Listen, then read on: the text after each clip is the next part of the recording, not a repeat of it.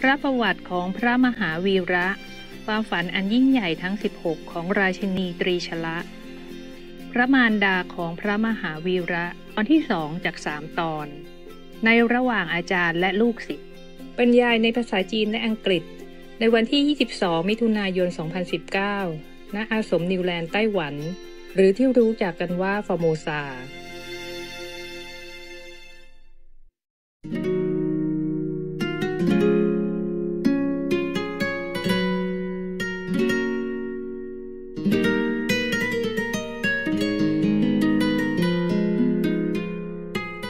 when you win people's heart, you don't need any vote. Yeah, that's a true, you know, kingship. It's a true presidency. It's like that. Mm. I don't think at that time they have a voting system, even though it was democratic then. They don't vote, but uh, he just automatically became respected and chosen as a Raja. Nowadays, if you want to be a Raja, eh, difficult. it's like president. You have to go out, spend a lot of money, a lot of time, a lot of talk, a lot of uh, wooing tactic in order to win the vote of the people. You have to join first a party. You know, either the Republic Party or maybe Democratic Party or maybe whatever party to join and then you have to gather so many millions of signature. Yeah. Or maybe you have to be appointed by the parliament or the senate, and then you can become one of the candidates. And that doesn't ensure you to be a president yet. Yeah, people must vote for you. A true democracy is like that. But in some country, no need. They just say, okay, democracy, but no need anybody vote. The, the president vote for himself. Or his party just vote for him. And he just became president before everybody even know it. And then in the maybe they just announce on the radio or television ah new president. Everybody clap and that's it it's done. This is more simple but it's not very democratic. Nevertheless if this kind of system works then it's okay yeah. We don't care who are president or not as long as he's working for the people and he has people interest at heart, then we okay. 鼓掌通过了，不是的。I mean, in Chinese, it means you clap and say, okay, I did not ask you to clap for me. But never mind, clap for Lord Mahavira. you guys so cute. So cute, so cute clap again. you clap for yourself now, right? because your master say you're so cute, and then you just clap like that. It's so cool. Okay. Don't clap now, okay? like master, like disciple, we praise ourselves, yeah? yeah. ah, very humble indeed, huh? Hmm. All right. Apart from being uh, worshipped and addressed respectfully as Raja, yeah, or Narendra, is the highest honor you can get at that time. Yeah, you're king of the people. Actually, in, in the old time, many countries are like that also. Mm-hmm. Like China, like the Yellow Emperor, Huang Di, is not voting or anything. It's just people love him. Yeah, and they, they still do now. The true king is like that. You will stay in people's heart forever. You stay in the history forever as a shining beacon of democracy and uh, strong, good, loving, caring leaders. Yeah. But then uh, sometimes people also snatch uh, position and became king and uh, queen or leader also. But these are no good. these also stay in uh, history forever. but as a, huh? As a what? Bad one. Mm. He's also good. You can learn from those bad one not to become like him. Yeah? And the good one is better that you learn to become like that. Yeah. Both are also examples. One is excellent, one is no good. This uh, Raja Siddhartha, apart from being respected and chosen as a Raja, a king, he also was a highly influential member of the Vaishali Republic. Trisla, the sister of the President Chitak of Vaishali, was married to Siddhartha. Now you know, okay?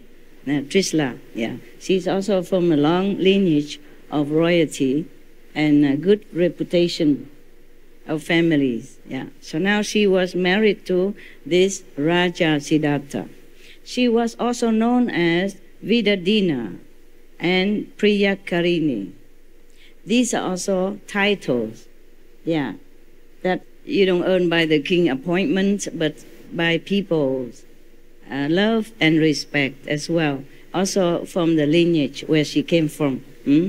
So just to introduce, Lord Mahavira came from a long, royal, respected, good, reputable family. So, Chatek's elder son, Simhabhadra, commander-in-chief of the army of the Raji Republic, Maharaj Chitek has seven daughters. Lord Chitek has another son, okay? And uh, he has seven daughters as well. So now, so now we come to the mother of Lord Mahavira, okay? Queen Trisla. Queen Trisla, before the birth of Lord Mahavira, she has premonition, very clear in many dreams. I will read to you one by one. One night, Queen Trisla had 14 great dreams, 14 in one night. It cannot be dreams. It could be vision. Yeah, it should be vision. Because a dream cannot be so consecutive and so clear that when she woke up, she remember everything. So it's like when we meditate, we woke up uh, from samadhi, we remember many, many visions, yeah? Or not remember. It depends on how you meditate at that time. Whether you meditate on the shoulder of your sister or brother, or you meditate in the front. I don't know, okay? And then you remember or not remember, but you just think you remember something. Sometimes you remember the whole vision or vision, sometimes just a part of it, sometimes just a fleeting light when maybe your husband or your wife kick you awake and then you say, huh, there was some light. What was it then? Because you, you were not very conscious in your vision. Yeah? You sleep, you also have vision, but then when you wake up, you forget. And maybe you think it's just a dream. Huh? And then you don't remember anything. Yeah? Also, no. It doesn't matter, okay? Important is you progress inside and outside, and you're happy with yourself as a human, as a practitioner, as an aspirant to sainthood. Uh, vision comes and goes. We have too many vision. We can have a lot, but that doesn't mean you are Buddha yet, okay? We just see things.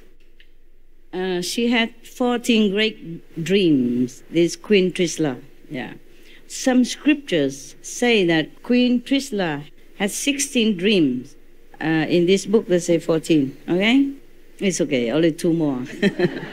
14 is great enough already, I think. If you even, all of you, any of you can remember four of them, when you get up from your meditation seat, I'll be very, very impressed already. 14 is a, is a far fetched dream for my own so called initiates. But we can hope for that. so uh, the dreams filled her with wonder and joy. Of course, nah? Who wouldn't be? Who wouldn't be joyful and happy? Yeah. Because these are very auspicious dreams. That's why they say great, great dreams, not just ordinary, ordinary dream or nightmare, but great dreams. That means very good. So she woke up feeling very joyful and happy.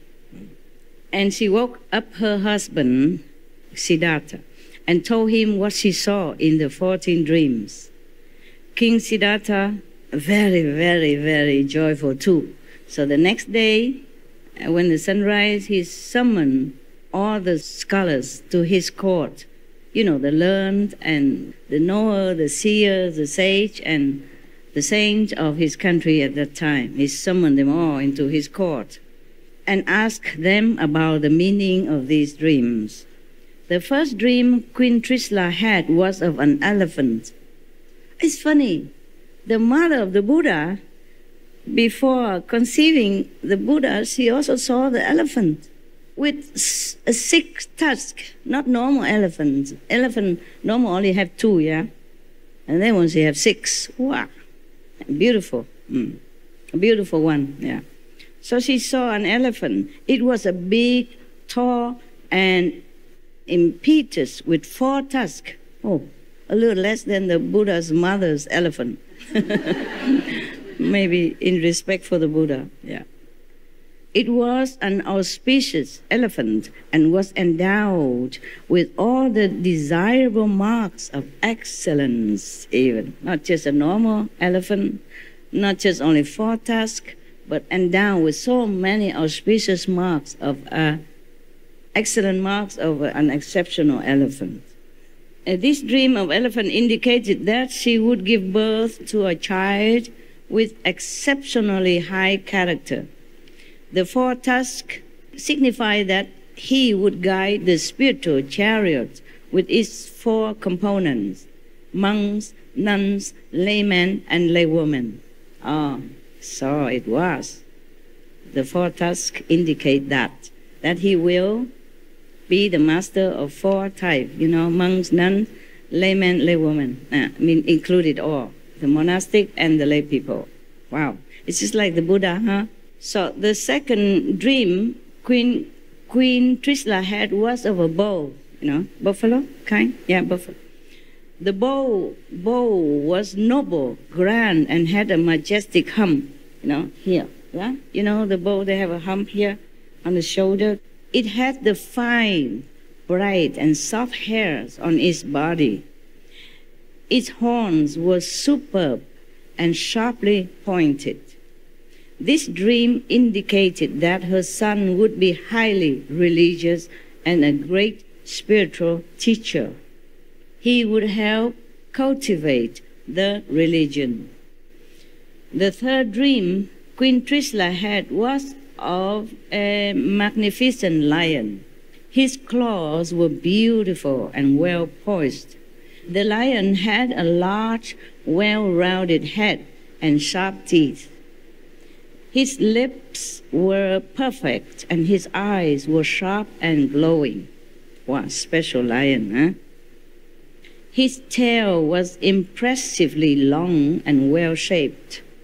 Queen saw this lion descending towards her and entering her mouth.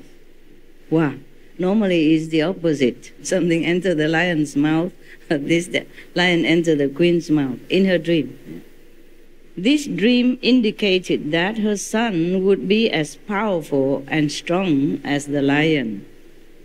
The people also likened the Buddha to the lion and, and likened his voice of Dharma teaching as the roar of the lion. Yeah.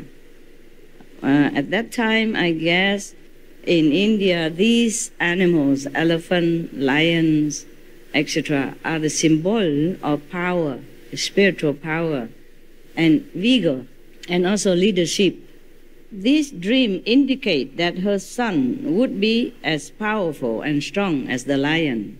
He would be fearless, almighty, and capable of ruling the world. The fourth dream Queen Trisla had was of the goddess Lakshmi, the goddess of wealth, prosperity, and power. She was seated on a lotus and wore many rows of pearls interlaced with emeralds and a gallant of gold. A pair of earrings hung over her shoulders with dazzling beauty. This dream indicated that her son would enjoy great wealth and splendor. He would be uh, a Tirthankara, the supreme benefactor of all. Wow, what a being, huh? Not born and already being predicted as such a great spiritual, grander, great spiritual teacher and leader of human, of the world.